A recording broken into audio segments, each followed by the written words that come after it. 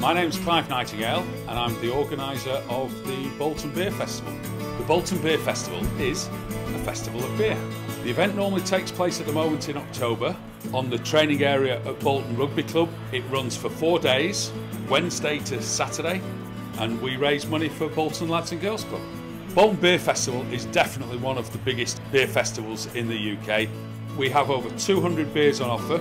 We have about 80 hand pulls. We also have a great lager bar where we have some draft lagers and we have on offer over 20 different bottled beers.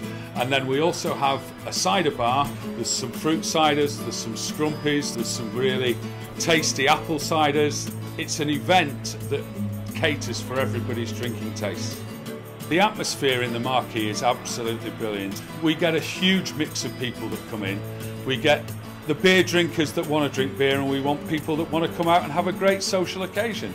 We have a small dancing area in front of the stage where there's a bit of a party atmosphere and certainly towards the end of the night, you know, when there's a bit more Dutch courage out there, then people don't mind having a dance and it's lovely to see everybody having a good time. We have a great team of volunteers that put the event together and without their help the event would not take place.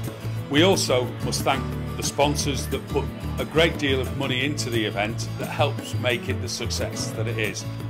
And obviously, a great many thanks to the 8,000 people that come down and support the event. And without that support, we would not be able to make the donation that we do to the Bolton Lads and Girls Club, which is a great charity here in Bolton. So the funds that we raise go to the club and we just hand it over to them for them to put to good use for the, for the youth of Bolton.